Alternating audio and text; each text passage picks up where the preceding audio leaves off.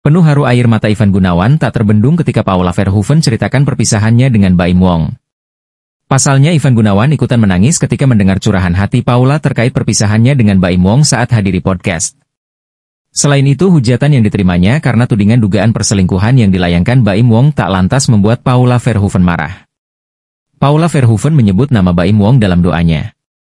Berikut pengakuan Paula Verhoeven. Dalam podcast YouTube Deddy Corbuzier berjudul I Paula Verhoeven, terima kasih Baim Wong. Loh Andrasoni, dia melihat kenyataan lain. Paula Verhoeven menjabarkan doanya. Di hadapan Deddy Corbuzier, Paula Verhoeven mengaku menyebut nama Baim Wong. Ia berterima kasih karena kehadiran ayah dua anaknya ini membuat hidupnya berubah. Seperti diketahui Paula Verhoeven tengah menjadi sorotan publik karena proses perceraian yang dibumbui adanya perselingkuhan yang dituduhkan Baim Wong pada Paula Verhoeven. Tak hanya talak cerai, Baim Wong pun menuntut hak asuh dua anaknya. Lepas perbincangannya soal perceraian, Deddy Corbuzier lalu menyinggung keputusan Paula berhijab. Dia penasaran apakah alasan Paula berhijab ada hubungannya dengan proses perceraian dengan Baim. Ya ini sekarang tuh berhijab? Jadi hijrah ceritanya? Tanya Dedi. Gara-gara sebenarnya hijrah itu kan belajar lebih baik ya sebenarnya. Eh jelas Paula. Ya ini tuh setelah proses. Cerai. Ya tanya Dedi lagi. I sebelum proses. Cerai, isahut Paula. Kenapa? Ada feeling? Tanya Dedi lagi. Paula kemudian menjelaskan keinginannya berhijab sudah dia rasakan jauh sebelum renggangnya rumah tangga dengan Baim Wong.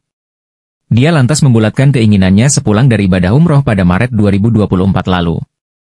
Bukan, jadi awalnya itu bulan Maret aku pergi umroh emang di doa aku di sana di Kabah. Ya Allah saya ingin pakai hijab sebelum 40 tahun. Jadi kepengin dari tahun 2019 tapi maju mundur biasa ada kerjaan, terus udah gitu kayak nggak siap panas, gerah, bude segala macem. Jingga tahu kenapa pas kemarin umroh aku berdoa. Papar Paula Verhoeven. Apa doa Paula Verhoeven? Ya aku ada di titik di mana proses ini tak mudah. Saat aku berdoa, tahajud, hidayah ini datang gini ya Allah terima kasih sudah hadirkan Baim Wong di kehidupan aku, jikata Paula Verhoeven.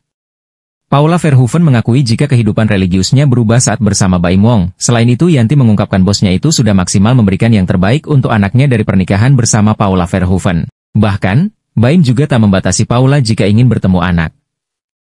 Maksudnya bapak sudah semaksimal mungkin udah ngasih terbaik untuk anak-anaknya. Kakak aja kalau tidur nggak mau jauh dari bapak. Ibu JUGA kalau mau ketemu tinggal ke kantor kapan aja nggak dibatasin. Ya ucap Yanti lagi. Lebih lanjut, Pengasuh anak Paula Verhoeven ini juga kembali membela Baim Wong yang dinilai selalu mengingatkan anak-anaknya untuk tetap menyayangi ibu meskipun mereka dalam proses cerai. Udah dikasih pengertian juga.